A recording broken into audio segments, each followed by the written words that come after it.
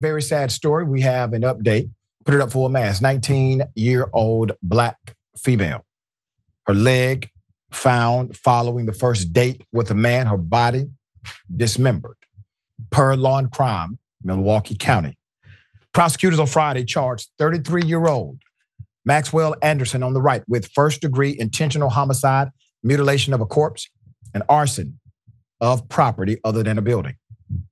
The Milwaukee County Sheriff's Office said he's accused of killing 19 year old Sade Carlina Robinson on the left after a first date together. Anderson allegedly dismembered her body, dumped the remains in Lake Michigan, and later torched Robinson's car to hide the evidence of this extreme crime. Anderson is at the Milwaukee County Jail on a $5 million bond. The Milwaukee County Sheriff's Office also had to dispel recent rumors the suspect was free on bond and scolded the public in a post on X. Maxwell remains in custody on a $5 million bail, spreading otherwise an insanely irresponsible, not to mention um, false narrative. Uh, so Robinson's mother, um, her name is Sheena, Sheena Scarborough. Sheena told reporters after Anderson's first appearance in court on Friday that he is a sick son of a bee, saying further, who the would do something like this to my beautiful baby? She hurt nobody. She harmed nobody. With millions watching and many people benefiting from this program called Indisputable, we just need 1% of the viewers to become a paid member so we can continue to bring this content to you. Now back to the show. The investigation began April 2nd when someone found a human leg in the water of Warnimont Park in Wisconsin. A joint investigation between the sheriff's office and the Milwaukee police determined that Robinson's family reported her missing the day before when she failed to show up for work. Per the criminal complaint, Anderson and Robinson for the, uh, met for the first time on April 1st to go on a date. Detectives also obtained text messages of the two planning their date earlier on April 1st.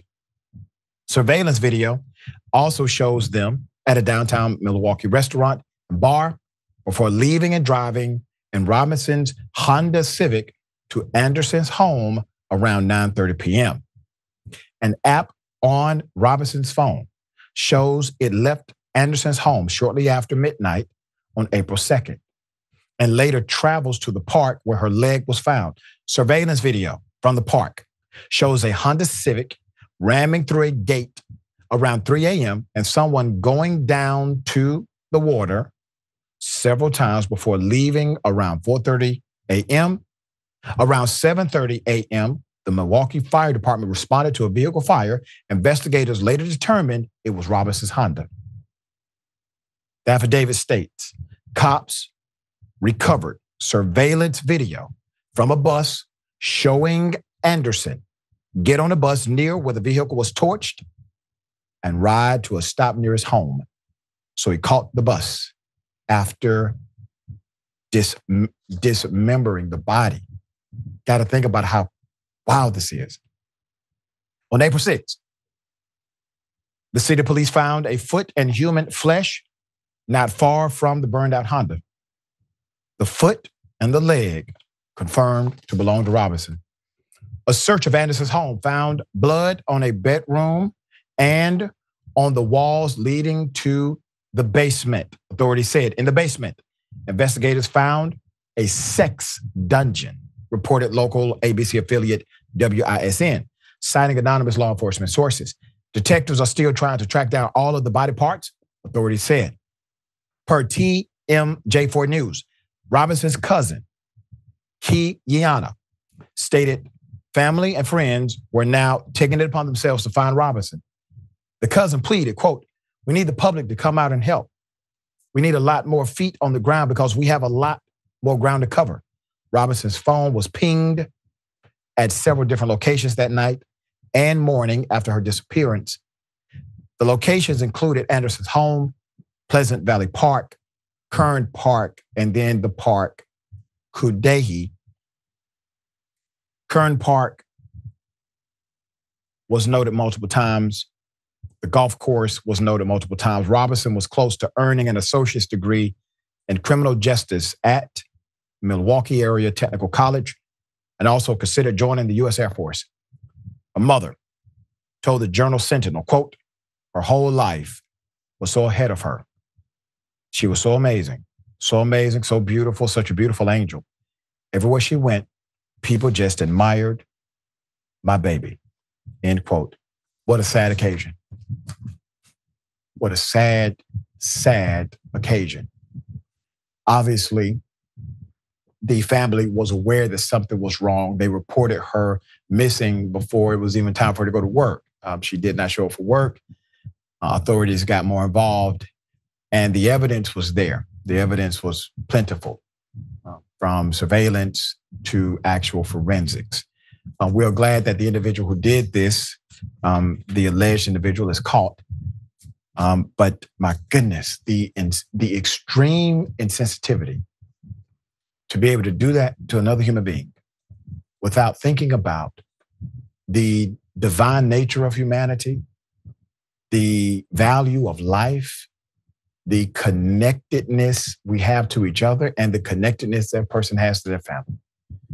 All right. Wosny thoughts here.